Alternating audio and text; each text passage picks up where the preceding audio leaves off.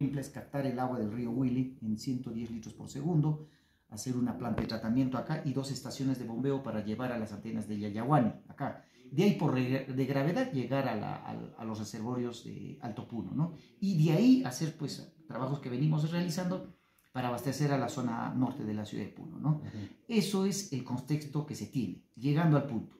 Se me convoca por el señor gobernador, ¿no? Se me convoca eh, a una reunión en Alto Puno porque se está haciendo el, hospital del altiplano, ¿no? De salud, ¿no? En los cuales se nos solicita bajo un documento y se nos dice cómo va a ser el abastecimiento del agua potable para esta institución o para esta instalación, de los cuales este, me piden dos, digamos, dos solicitudes, ¿no? Si esto está en el convenio 25 o no está en el convenio 25. Nosotros remitimos este documento presentado por el Salud al Ministerio de Vivienda, Construcción y Saneamiento la respuesta del ministerio dice que no está considerado dentro del convenio 25. Aún así, si aún estuviera considerado dentro del convenio 25, bueno, nos han, nos han dado una respuesta al Ministerio de Vivienda que sí, el caudal del año 20 podría hacerse considerado para la demanda del hospital, pero tampoco existen redes para tal caso al, al hospital.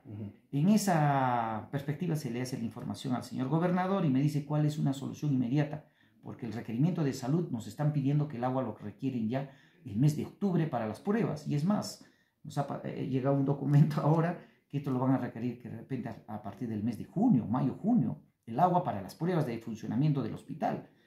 Y, y nos dicen que el año 2025 ya tiene que estar operativo. Se le informa lo que les dije, a la fecha es conocido de que nosotros pues la deficiencia del agua en la zona norte no, no es eh, óptima, se podría decir, no, no, es, no es pues, no, eh, no, no, consideramos este abastecimiento del hospital a estas condiciones porque el caudal que nos pide es de 18 litros por segundo. Eso como antecedente, señor periodista.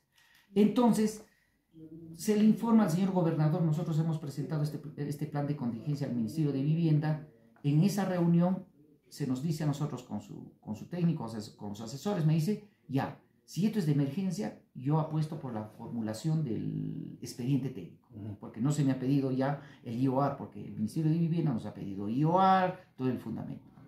El señor gobernador o la gobernación asume la responsabilidad de financiar el estudio, el estudio técnico, el expediente técnico, ya no estudio, expediente técnico definitivo, de los cuales se han hecho ya, este, se ha tenido como tres reuniones o cuatro, fueron rápidas las reuniones, en los que esto tiene que hacerse en función de la gobernación regional, la municipalidad provincial de Puno, como Junta Empresarial y EMSA Puno.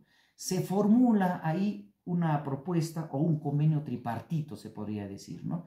En que obviamente el ente ejecutor y el que va a hacer el expediente va a ser el, este, el gobierno regional con la participación de la municipalidad y es más, la parte técnica va a ser aportada por, el, por EMSA Puno, ¿no? Estamos en ese convenio, el convenio se está proyectando firmar básicamente la primera semana de abril. Eso es el estado situacional que tenemos a esto. Con esto se garantiza el abastecimiento de agua primero a la, a la población